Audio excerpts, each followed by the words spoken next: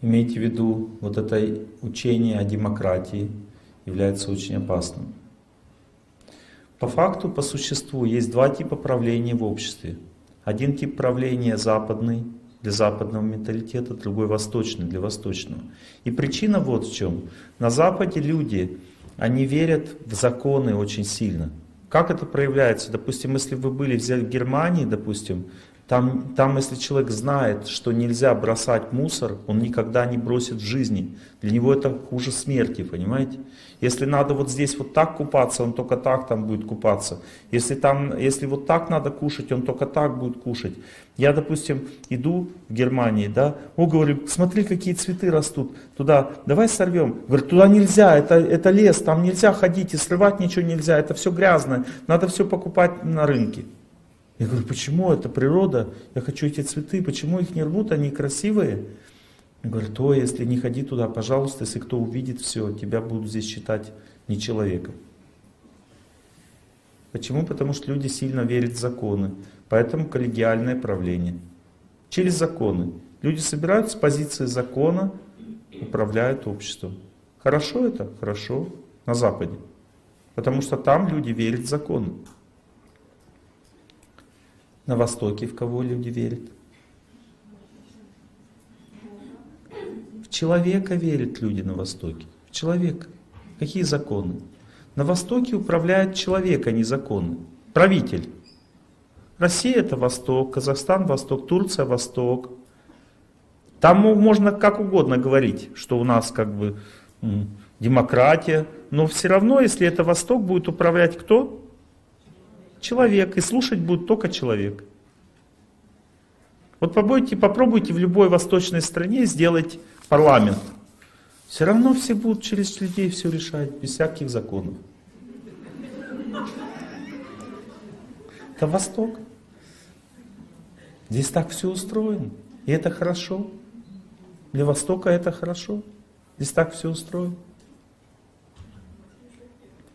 Вот в Индии я сейчас вам приведу пример, что такое Восток. Я думаю, у вас то же самое примерно. Ну, может, чуть послабее. Один человек ко мне пришел на консультацию индус в Индии и говорит, меня родители заставляют делать вот так, но я не хочу, что мне делать? Я говорю, я, я не знаю, это же как бы Индия, я не понимаю, что здесь происходит. Я говорю, скажи мне, какие последствия? И он говорит, если я не сделаю так, как сказали родители, то я не буду иметь ни работы, ни семьи, ничего, ни друзей, ничего в этой жизни. Потому что, смотрите, там деятельность вся, она э, имеет вот такую родственную характер, родственный характер, деятельность вся имеет. Там ну, невозможно работать, если ты не, не в этой, ну, не находишься среди родственников, понимаете? Работать невозможно. Если ты не, не принимаешь родителей, что они сказали, как тебе надо жениться, то тогда тебя нормальная семья никакая не сможет взять тебя, как бы, ну, тебе выдать нормальную девушку, в общем, тебе нормальную девушку замуж не выдадут. Там кому, кому-нибудь с другой стороны, пожалуйста, но нормальные, с нормальными кров, кровей девушку тебе замуж ни, никто не даст, потому что ты пошел против рода. Понимаете, да? И он, и он говорит, я когда выслушал, говорю, слушай своих родителей, делай, как они говорят, ни шагу в сторону. Это культура.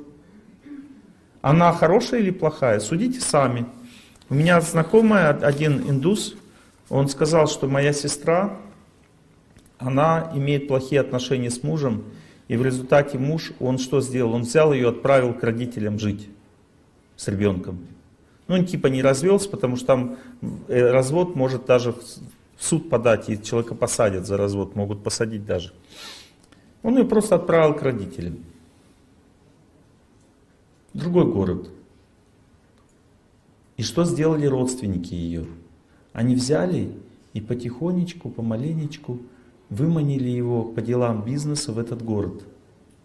Он приехал туда, в этот город, по делам бизнеса. И когда в тот момент, когда он деловые вопросы решал, туда зашли 70 человек родственников, закрыли дверь и сначала прославляли его где-то час.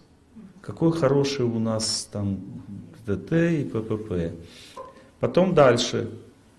Когда они увидели, что он как бы не собирается возвращаться к жене, вот они ему говорили потом, возьми назад свою жену, она у тебя такая хорошая, и ты хороший, живите вместе. И он там типа по-индусски так, ну типа, вроде бы да, но вроде бы нет. Вот такой восточный стиль такой. Тогда они ему целых несколько часов рассказывали, что с ним будет, если он не возьмет. Каждый приподходил, говорит, я готов убить себя, там, если ты и так далее. Ну, на все, я сяду в тюрьму, но с тобой покончу и так далее. Ну, ты знаете, восточные люди. В общем, через семь часов беседы он был счастлив взять назад жену, и отношения их полностью наладились. Поэтому в Индии 1% разводов Вот наладились отношения, стали счастливыми, понимаете? Вот как это бывает, непонятно. Но они стали счастливыми после этого отношения. Поэтому не надо думать, что Восток это плохо. Вы живете на Востоке, примите свои законы, свою культуру. Вы восточные люди, у вас сохранилось целомудрие женщин, чистота женщин, серьезность, ответственность мужчин. У вас сохранились правильные законы управления. Примите это все, это ваша удача. Не надо следовать тому, что там. Не думайте, что там лучше. Там хаос, гомосексуализм, разруха в отношениях, никто никому не верит. Один, одна ложь и обман.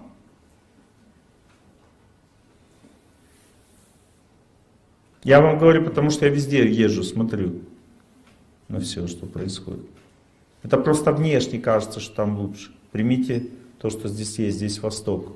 Это самое лучшее, что может быть.